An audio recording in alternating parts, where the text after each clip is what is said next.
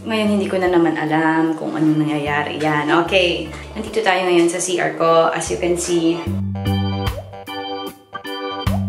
hindi nyo pala nakikita. Inidoro yan, okay? Yan. Pero bago ang lahat.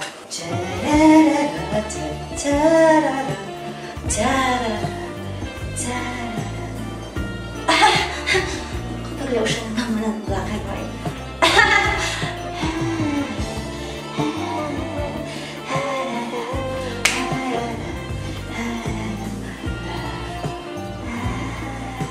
Oh, ayan. Gusto gusto niya mga ganyan. Yung mga parang akala niyo may something pa.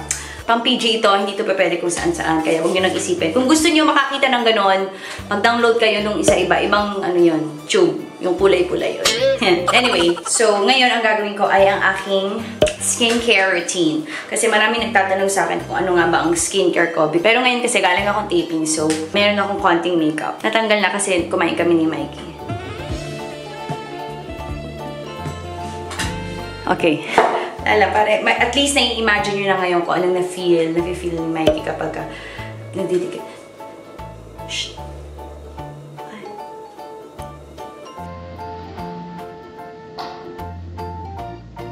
Ah, maganda ko ano.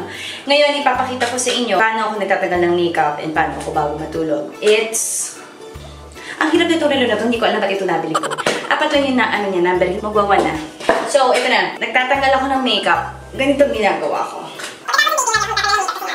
I don't like to, put makeup because makeup clogs the pores. And, you know, we don't like to be poor. We like to be rich. Anyway, sa lahat nga pala ng mga natutuwa at nagla-like ng post ko at mga naghahanap kay Mami Pinty, hindi to page ni Mami Pinty. Akin to, okay? Kung hindi kayo natutuwa, i-exo na lang, huwag na kayo mag-dislike. Nag-dislike ka? Nag-dislike ka, nakita ko. Ang hirap mo nung i-please. Ang hirap mong pakiusapan. Huwag ka na mag-dislike. So, tinatanggal ko itong makeup ko. Tapos usually, gumagamit ako ng cold cream to remove my makeup. Pero now that I'm in my room, I'm gonna use my hands. So, ito muna, magsasabon muna ako. Kailangan ko ng sabon. Hindi ko alam, hindi ako nakapag-prepare. Ang dumi ng sabon ko, hindi ko alam, ang pangit niya. Tapos after ko magugas ng kamay, ginagaya ko yung para sa mga doktor. Ganyan lang ako. Hindi ko hinahawakan muna yung kamay ko. Ba't ba nagtataas doktor? Akala mo naman parang meron sila. So, I will remove my makeup. So, ang ginagamit ko pang remove ng makeup ay itong oil control Shuemura. Nakikita nyo naman, konti na lang talaga siya. So, kasi hindi nga talaga ako madalas mag-makeup and usually cold cream ang ginagamit ko. So, itong Shuemura na to ay hindi nyo na mabibili kasi face out na siya. So, hindi na na siya mabibili. Gumagamit ako ng oil cleanser. So, makikita nyo, pagtanggal nitong makeup ko, magugulat kayo. Younger version of Mami Pinty ang makikita. So, kaya ganyan ko yung face ko. I will wash my face. Pag iniwan mo to, oily ka. Ang pangit mo, okay? Pag mumukha kang lechon. Yung iba, ginagamit nila, ginagamit nila ay, ah, ano ba to? Ang hirap!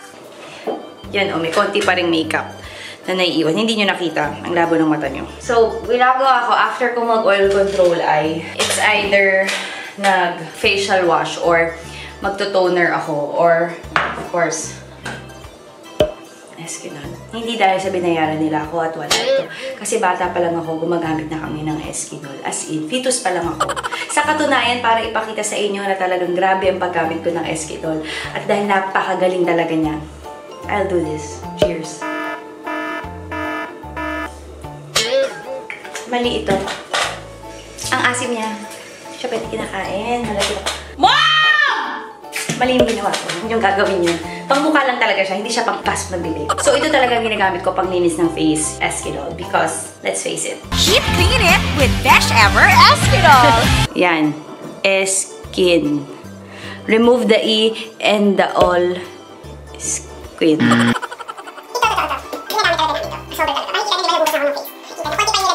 Nakita niyo? Ang dumi pa rin ng face ko, lalo na pag nag-makeup. Yung iba, ginagamit nila toner, pero ako, personally, I use Eskinol. Ito ngayon, ang aking next eye step ay ang aking facial wash. And this is Tata Harper. Anyway, basta Tata Harper to, kinuha ko to sa internet. Mahal siya.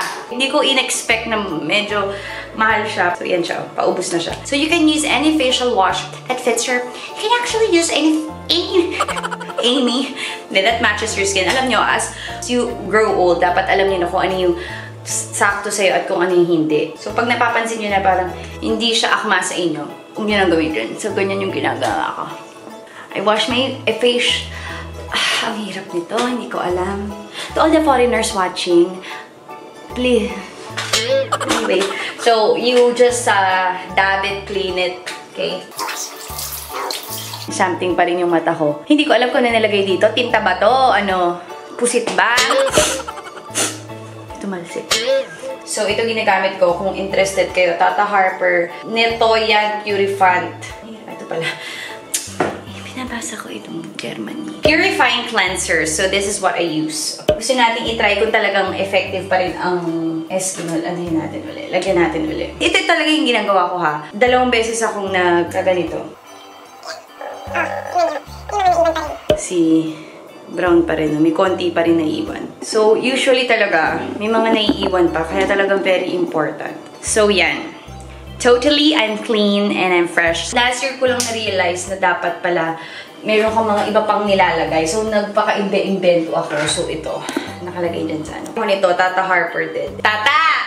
Yumamang ka sa akin. So, ito naman ginagamit ko ay Concentrated Brightening Essence. So, ginagawa ko yan. Ganyan ko.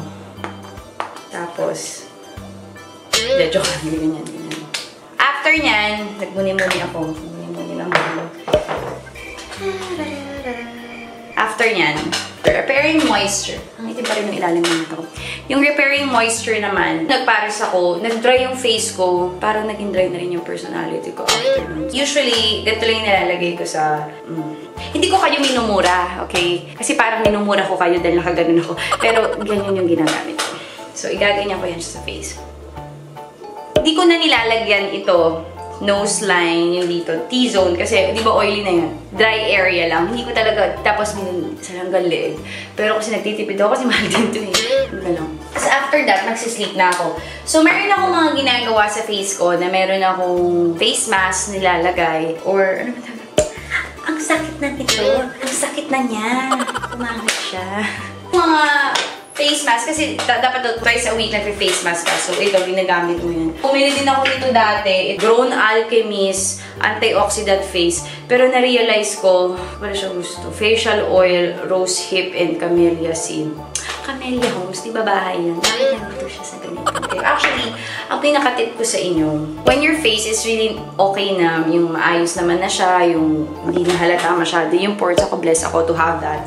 Tapos, ah, hindi naman kayo pimpollen or may mga konti lang kayong breakout, huwag na kayong mag-experiment ng iba. Maintain nyo lang kung ano yung sakto sa face nyo. Dapat alam nyo na what works for you and what what's, what's, what's, what's not. Anyway, so yun. Yun lang yung ginagawa ko. And then, matutulog na ako after. Tapos, before ako matulog, gumaganito muna ako. If